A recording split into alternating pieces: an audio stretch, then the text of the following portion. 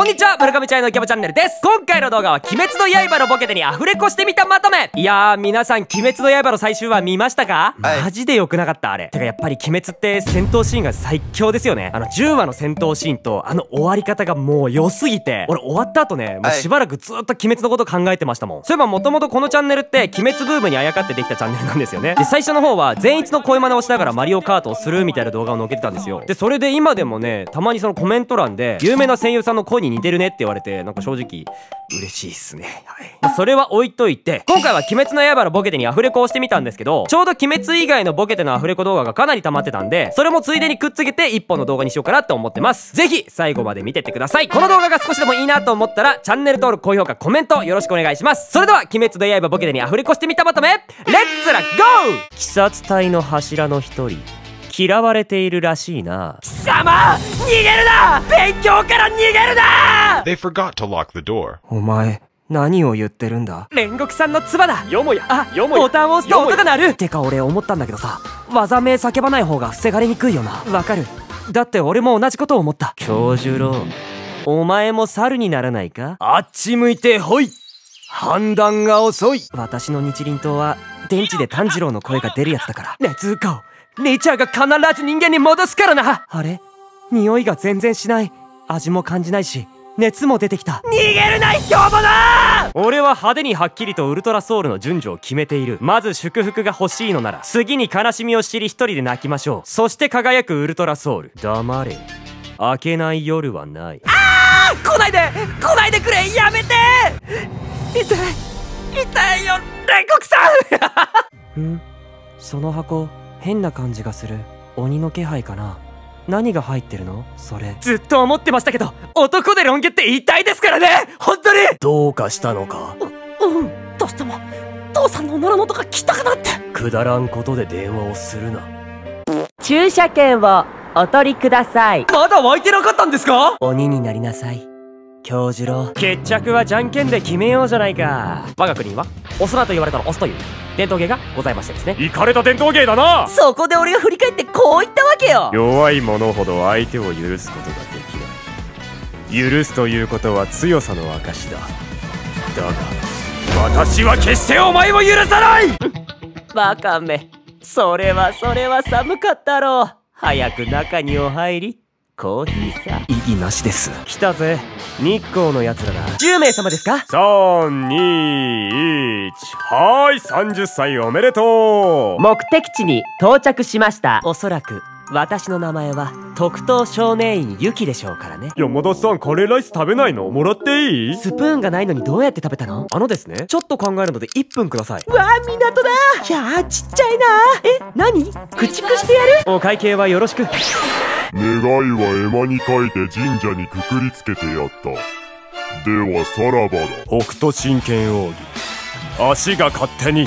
足が勝手に！えー、先ほど人参ニュースとお伝えしましたが臨時ニュースの間違いでした。訂正いたします。さて問題。ケーキを独り占めするには何に包丁を入れればいいでしょうか？え？いやこれは仕方ないね。もはや目が見えん。受信料は払えん。あのですね仮にこれが日本だとします。さあ今日は海で男釣るぞ。次はモノボケでいくかそれともサイレントか。ねえキスしたい。でももしユナちゃんが嫌ならしない。ねえユナって誰？さっき5階から突き落としたはずなのに。なんで？絶対に失釈だけはやめてくれ。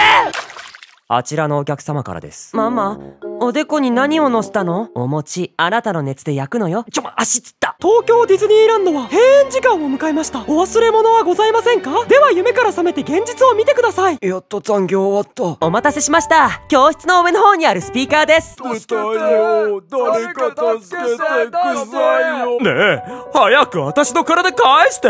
よし僕今から女になる。ドラえもん女になる道具出して。あるけど普通のハサミだよ。コーンフレークやないか。ご安心ください。私は白のモノマネ歴8年のベテランですから。一回で目薬打てばよくないですか？ねえ一休さん。なんだい？それトンチじゃないわ？うん。ちよ？そそんないや約束が違う！お前が一度でも約束を守ったことがあるのか？一度でもあったらごめんなさい。これ本当に麻酔銃？おおおかみさんまるでクジラだな。はいやり直しママは何歳だっけ？23歳。よくできました。腕立て20回。チョキ出して。出せるかそんなもん。はーい。先日助けてもらったニラよ。Bluetooth 訂正させてもらおう。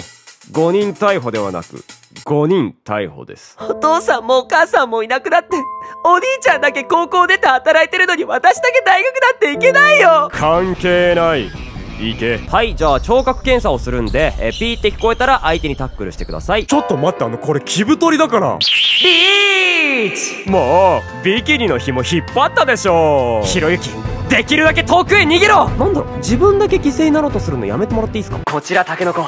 侵入に成功した。またワクチン打つの？ああ今日だけで3度目だ。ほら顔出したら危ないよ。助手席のママ見てごらん。お利口さんに座ってるだろ。あれ？あねえさっき救急搬送されてきた患者さん知らない？あああの人。具合が悪いって言って帰りましたよ。はーいみんな。二人組作って。先生。あそうか。俺のクラスはお前一人だったな。ナポリタンにピラフ。こりゃ名付けられた子供はたまったもんじゃねえな。金なら1枚銀なら5枚。チョコボール懐かしい。ミルクも値上げなの？よしじゃあ俺は冷蔵庫。お前は洗濯機のサイズを崩さないように山田電機行くぞ。おいいとこいた。朝刊持ってきてよ。その後朝食も持ってきて。さっき朝食も朝刊も食べましたよ。だ助けて！待ってろ今大事な話してんだ。おばあちゃん本当に聞こえる？ブラジルの人聞こえますかって？本当に聞こえる？おばあさん長生きの秘訣は何ですか？そんなもんないよでも嫁いびりだけは毎日やってるよ。おい飯なら作ったぞ。なんで出前頼んだんだ？知ってるわ。だから頼んでるのよ。私もゆうくんのこと大好きだよと。パパからもらったクラリネット壊れて出ない音があるんだよ。あ言い忘れてた。お前はもう死んでいる。新人ドッグトレーナーの分際で俺様を担当するなど100年早いわ。よーしよしよしよししかしどう見たって居酒屋の面構えだ。それもちょっと高めの。どれ油ゼミでも入れてみるか。僕がゲームセンターで殴られていた頃の話をするね。へいお待ち。だホイミ昨日の彼にはぶったまげたわ。こんな風にピーンって思わず「あら!」って叫んで駅ダラダラのマンダラに生捨てて入れちゃったわ。というわけで今回のボケてアフレコまとめいかがだったでしょうか？いやーあの自分で言うのもなんなんですけど俺結構声真似上手くない？え、そんなことない？結構上手くないですか？え、ぜひですね、皆さん、あの、僕の声真似が似てるなって思った方いらっしゃいましたらね、あの、ぜひチャンネル登録、高評価、コメントお願いします。というわけで、今回もですね、インスタグラムの方で相談募集いたしましたので、え、こちらにちょっと答えていこうかなと思います。はい。頑張っていきましょう。一つ目私は彼氏ができません。はい。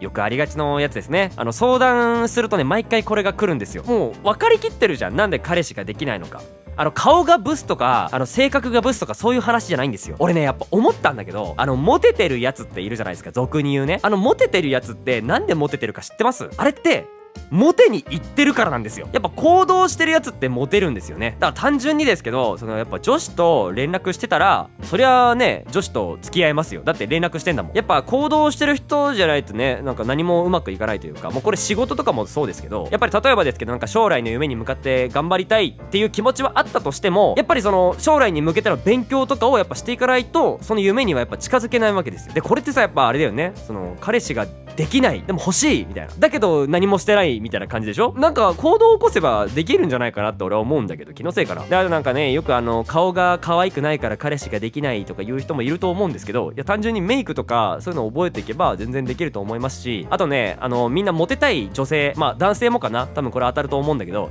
あのいい匂いこれいい匂いになるとねモテますよ本当に。柔軟剤とかでもいいんですけどまあ香水とかねそこら辺に売ってんでもう香水でいいからとりあえずつけてみ。いい匂いのね。あのこれつけるとマジでモテます本当に。なんかねやっぱいい匂い匂いの人って可愛く見えちゃうんですよね。まあこれ俺だけかもしんないんだけど。でも本当にこれマジであると思うから本当に香水とかつけてみ。それだけでマジで変わると思う一旦。まあ彼氏できるように頑張ってください。2個目、えー好きな人に LINE ブロックされました。なんでですか？なんでですか？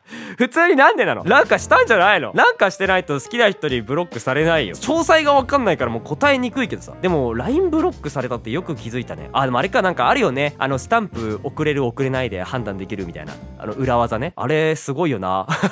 あれ見つけた人すごくない？てかマジで怖いよね見つけた人。一番最初に見つけた人あれ。普通に考えてあれやろうなんて思わないもんな。まあね。なんかやっぱあなたに原因があるんですよ。嫌われたっていうかなんかなんかしちゃったんじゃないですか。だって LINE ブロックって相当なことがない限りしませんよ。あと単純にそのめんどくさかったんじゃない？めちゃくちゃ LINE 送りすぎたとかさ。やっぱ俺もね追い LINE とかされるとなんかね気が引けるっていうかなんかうわーめっちゃ来るなこいつめんどくせえなってやっぱ思っちゃうのは正直ある。まあそれぐらいじゃないかな。原因として俺考えられんのは、まあ、それもしてないんだったら単純にあれかな彼女できたとかそういうあれなのかな？まあわかんないけどね。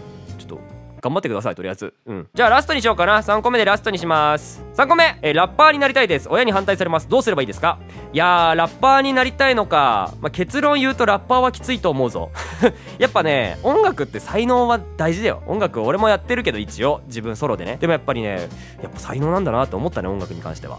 あとやっぱミックスってあるじゃない？俺もさ最近勉強しようかなと思ってんだけどミックスってあれ大変だぜ。本気でラッパーなりたいんだったら勉強することめっちゃ多いと思うよ。ミックスも勉強しなきゃいけないしあと歌もちゃんとね歌えるようになんなきゃいけないしあといいマイク買わなきゃいけないし PC も買わなきゃいけないしで結構準備が必要なんだよね音楽って。まあそれでもなりたいっていうんだったら、まあ、ちゃんとバイトとかしてコツコツお金貯めて頑張っていけばいいんじゃないっていうのとあと親に反対されるってあるんだけど俺もね最初 YouTube っていうかもともとバインの人なんだけどそのバインやっぱある程度フォロワーをつけてから親に言ったんだよね。俺今こういうことやってんだよねっていう。だからやっぱその実績を作ってからその親を納得させるっていうのが一番早いと思うんだよね。やっぱ信用を作るところから始めた方がいいんだよね。だからラッパーになりたいだったらいい曲作って売れてそっからよね。でも難しいよ本当に。ラッパーは本当に難しいからね。考えた方がいい。まあでも俺が今こうやって考えた方がいいとか言ってじゃあ諦めようかなってなるぐらいだったら多分やめた方がいい。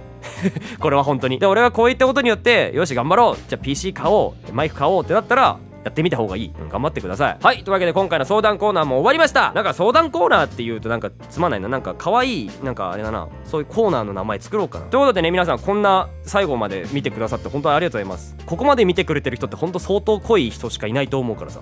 本当にありがとうね。ぜひあの今後も仲良くしてください。ということでねここまで見てまだチャンネル登録してない人いたらしてね。絶対だよ。高評価もコメントもねぜひねお願いします。それではまた次回の動画でお会いしましょう。バイバイ